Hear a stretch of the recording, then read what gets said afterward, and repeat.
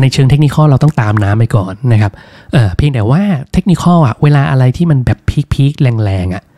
บางทีมันเป็นการจบรอบ หรือการติดคือตรงเนี้ยมันจะมีคาบลูกคาบดอกนิดนึงก็คือว่า ถ้าสมมุติตรงเนี้ยมันไม่เบรกเปลี่ยนแนวโน้มนะครับ มันไม่เบรกเปลี่ยนแนวโน้มมันจะกลายเป็นว่ามันขึ้นมาชนต้าน เนี่ยตรงเนี้ยอืมเออแต่ตอนเนี้ยต้องยอมรับว่ามันทะลุถูกป่ะเพราะฉะนั้นคือเราตามน้ำคือการเก็งกำไรในฝั่งที่บาทกำลังจะอ่อน แล้วดอลลาร์แข็งก่อน โดยการทำ trailing stop แล้วคือเหมือนค่อยๆเลื่อน stop ตามไปเรื่อยๆ ซึ่งถ้าคุณทำตรงนี้สมบูรณ์อะตรงนี้จะเป็นไม้สองของคุณ เพราะว่าท่าที่เราทำคือ breakout ถูกไหมครับ เพราะนั้นคือก่อน breakout มันคุณจะต้องเจออะไรครับ กลับตัวขึ้น เพราะนั้นย้อนกลับมานะ basic พวกเราเลยเนาะ Heikin Ashi ถูกไหมเนี่ยมันแอบนะ ตอนแรกติดต้แล้วไม่ไหวแล้วแท่งนี้เบรกเห็นปะเอออะแล้วก็ตรงนี้ EMA เห็นไหมก็คือคุณก็ทำออเดอร์ตรงนี้ พอทำออเดอร์ตรงนี้เฉลี่ยเราก็จะอยู่ตรงกลางนี้ คุณก็ได้ลุ้นเทรนต่อ หรือคุณจะบริหารจัดการยังไงก็ได้ นึกออกไหมจังหวะเข้าเนาะเออแล้วก็จังหวะออกก็ทำ trailing แต่จังหวะออกก็จะใช้แบบจังหวะเข้าก็ได้ แต่จริงๆแล้วคือจังหวะเข้ากับจังหวะออกมันควรที่จะใช้ logic ที่มันมันแตกต่างกันนิดหนึ่ง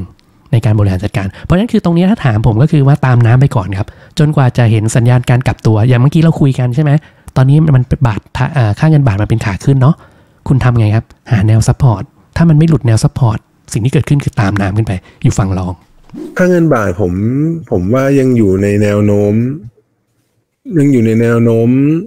แข็งค่านิดๆนะครับ อยู่ในแต่คงแต่คงแข็งกว่านี้ไม่ได้เยอะมากแล้วตรงบริเวณหลักสามสี่สามสามห้าสิบนี่ผมว่าก็เต็มที่ละคือโลเนี้ย โลเนี้ยสามสามห้าสิบแถวเนี้ยก็เต็มที่ละ ฉะนั้นเนี่ย ผมว่า เอ่อก็เป็นกรอบไซด์เวย์ครับ เป็นกรอบไซด์เวย์ระหว่างสามสามห้าสิบกับบริเวณสามเจ็ดสลึงเนี่ยสามเจ็ดสองห้านะครับ ก็อยู่ในกรอบไซด์เวย์ไปก่อนครับ ยังไม่ได้มีอะไรสำหรับค่างเงินบาทพี่หนาว่าถ้าเกิดอ่อนมาก ๆ เนี่ย กลุ่มที่เล่นเรื่องการส่งออกก็น่าสนใจครับ เออเพราะว่าส่งออกเนี่ย ตอนนี้มันอยู่ในโซนค่าเงินบาทค่อนข้างค่อนข้างแข็ง ถ้า reverse กลับมาอ่อนเนี่ยเอ่อแล้วมีถ้าเกิดสมมติถ้าเกิดรัฐบาลผ่านดิจิ t a ลวอลเล็ตได้ค่าเงินบาทอาจจะอ่อนได้อีกอะไรอย่างเงี้ยก็มีโอกาสที่เอ่อกลุ่มส่งออกก็ได้ประโยชน์ครับ ในส่วนของตัวค่าเงินบาทนะคะ เราก็มาดูในภาพของอค่าเงินบาทเนี่ย